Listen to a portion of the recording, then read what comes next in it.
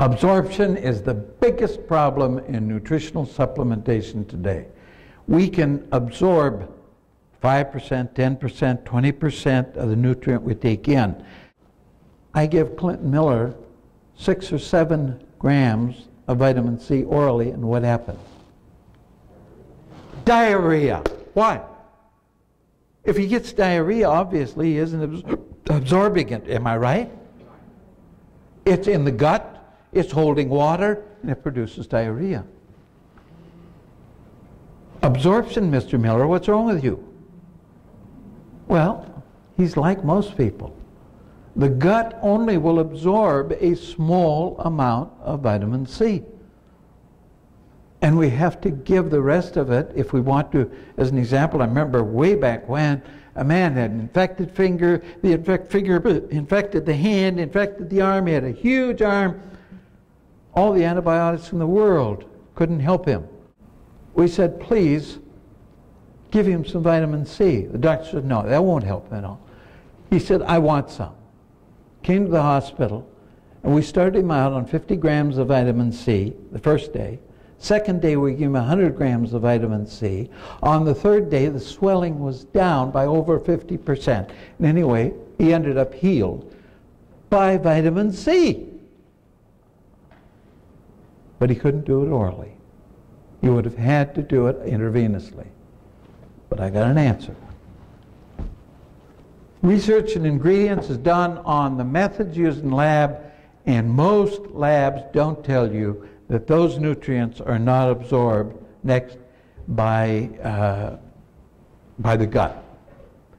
The absorption rate of vitamin C, as an example, is 19%. Now, give or take. I'm putting things up here pretty well recognized, but maybe uh, for one person or the other, up or down 1 or 2%.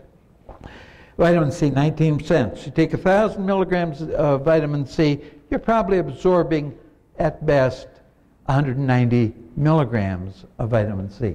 CoQ10, 9, glutathione, 3, resveratrol, 2%, B12, 10%, curcumin, 10%. It's another reason why doctors said for years, don't take vitamin B12 orally. Let's give you a shot at least once a week or once a month because you don't absorb it well orally. We got another answer. Next. We can give 100 grams, 100 grams, that's a big amount of vitamin C with no negative effects IV. But if you give 7 to 10 grams per day to the average person, you have poor uh, absorption and therefore resulting diarrhea because the C stays in the gut and holds water. It's a dramatically beneficial. A billy goat. I've told you this story before.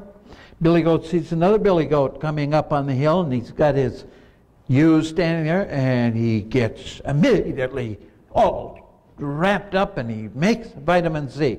Do you know much vitamin C he might make, Mr. Miller? If he starts butting heads, he'll make at least 10 or more grams of vitamin C. That's a Billy Goat. How much can you make? None. You've got to depend on every bit of what you take in. So you better be sure that it's absorbed, right? Next.